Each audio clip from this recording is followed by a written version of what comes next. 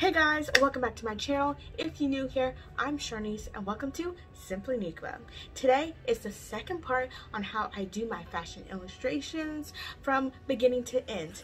If you missed the first part, I showed you how to draw a nine-headed figure, fashion croquis or corcus, as I learned in school. So now, today, in this video, is all about the drawing. So if you want to see more, sit back, relax, and continue watching. But if you're new here, go down below and please subscribe to my YouTube channel and like this video. But other than that, let's get started with this video.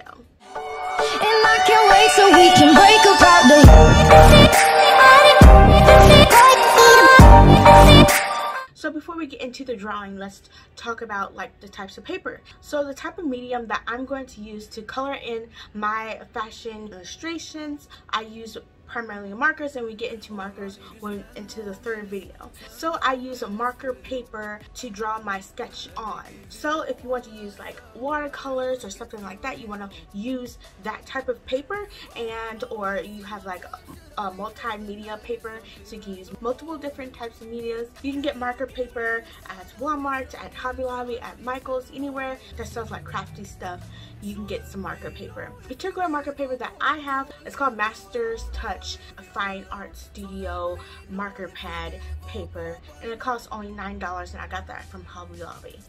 So you choose what you need.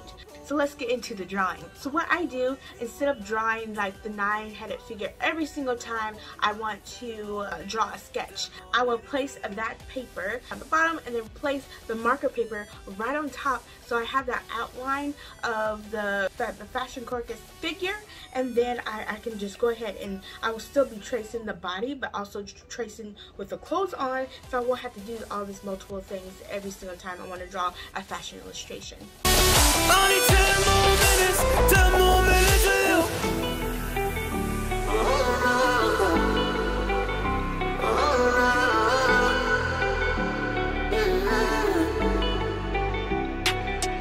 Yeah, I just wanna go back home. Can't do this anymore. I can't get through to you, so what the fuck am I fighting? Now you want to draw your design. That part is your creative feel to it. So um, I will give you some tips as you watch me draw this beautiful design I thought up today.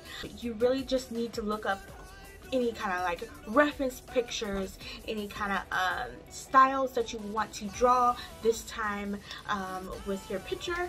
So if you want something ruffled, look up like ruffle skirt or something like that.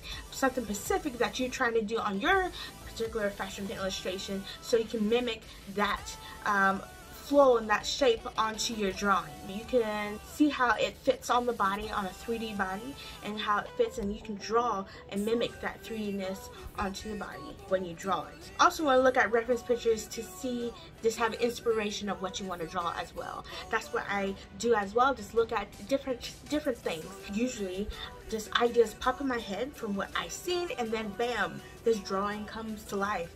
And it's so cool. Sometimes you have to go through one drawing and then start all over because it just didn't come out right. Like this specific one, I thought of something first, but then I scratched that whole design and did this one. And I'm so glad that I did this one for you guys this week. But other than that, you just draw what your heart desires. And that's what I do every single time. So you just gotta choose and pick what you want. I just want to really emphasize on the design of the clothes for this video.